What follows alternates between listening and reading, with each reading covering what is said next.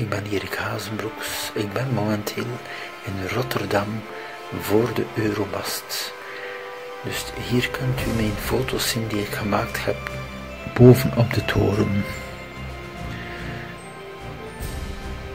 Dus de Euromast werd gebouwd tussen 1958 en 1960. De toren was in het begin een honderdtal meter hoog en in 1970 werd hij verhoogd tot 185 meter. Het is echt een prachtig zicht en de moeite om dit te bezoeken in te Rotterdam. Zie hier de foto's.